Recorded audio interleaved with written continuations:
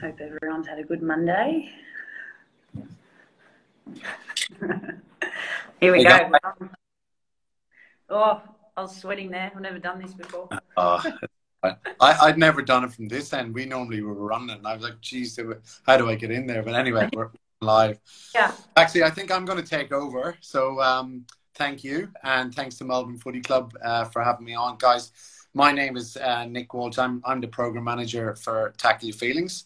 Uh, Tackle Your Feelings is a community initiative uh, brought to you by Zurich Insurance, Zurich's Foundation back in Switzerland, who are ma- major sponsors of Melbourne Footy Club, the AFL Coaches Association, and the AFL Players Association. So there's a lot of weight behind this, and it's great to have some of the players and coaches on board driving this initiative. Essentially, what we do is we go around all the community clubs and educate them on mental health education. And, and essentially give coaches the tools to understand, recognize, and manage signs of mental health. And and I know Paxi's been across the program for a while now, and the Melbourne Footy Club, uh, both the men's and women's teams have been supportive of it. So, uh, Paxi, I'm thrilled to be on and thrilled to have you. Um, this is our, this is our second um, Instagram live session. Let's call it. Uh, we still have to meet up for a coffee in public, but obviously lockdown and different things got in our way, and you guys are back to training now. So, uh, thanks for having me on. And how are you? How are you keeping? Yeah, no worries, man. Welcome. Um, yeah, it's been it's been a funny old twelve months, but it's nice to have footy footy back finally, and um, yeah, nice to get out there on the weekend and have our first proper hit out um, and interstate too. So getting on a plane was a little bit weird, and um, but yeah, nice, nice to get out of Victoria and into some warmth and um, yeah, play a game of footy.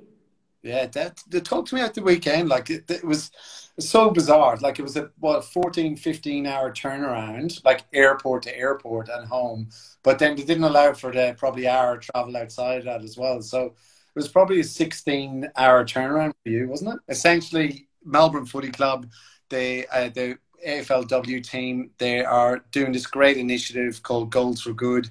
Um, basically, it is an initiative where your co-principal partner, Zurich Insurance, and us, Tackle Your Feelings, have joined together with the Footy Club to essentially give back to the community. Each time any of the Melbourne Footy Club, Footy Club girls kick a goal in any game this AFLW season, a junior footy club will receive a, a coaching pack valued at about So, Paxi, I was asking you, what was your club of choice, and why did you choose them?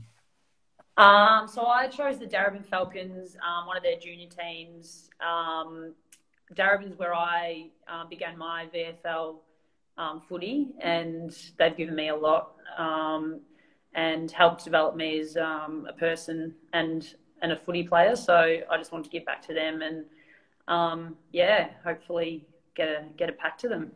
Excellent, excellent. And was there any, you know, coaches during your time, whether it was junior footy or coming up the ranks, that you know really stood out for you? And you know, I know for me when I was playing Gaelic footy back home and stuff, it was a couple. You know, there was one or two coaches that really I looked up to and aspired to. And you know, what about you in your coach or your playing pathway?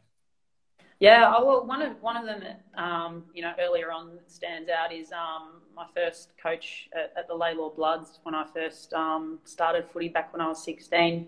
Um, Pete, he was just a good people person, and um, I think brought everyone together really well and um, made it a nice environment and an inclusive environment to be to be a part of. So it was a good, I guess, footy first footy experience for me, and yeah, that's I guess that's something that stuck with me. You know, footy for me has been always about the people I've been around in relationships and um, being part of a an inclusive and friendly, I guess, community in some way where you just. What I was just saying before we broke up was um, anyone listening, any junior footy clubs that are listening out there, they can nominate their junior footy club for a Goals for Good initiative by going to melbournefc.com.au forward slash goals for good and explain why your team would be a deserving winner. Um, entries close, I think, Feb 5th. Uh, which is this Friday because it's February 1st already. Um, so I'm pinching the punch first day of the month, by the way. um, so it's a terrific initiative. Just want to keep encouraging you guys to keep kicking goals.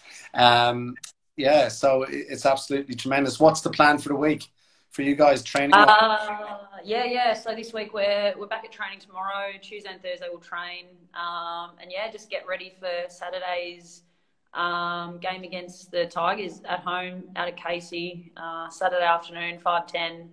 Um, it's actually Pride Pride round too, so um, yeah, be be a good one. Okay, well, I'll go out there on this weekend. I'll stand behind the goals and make sure it all slots through for the six. and I, am expecting to see some from you this weekend, Karen, as well. Yeah, you can stand like it'd be actually helpful if you stand behind the goals. Something to aim to, kick it straight to you. That'd be good. Yeah. Okay. No worries.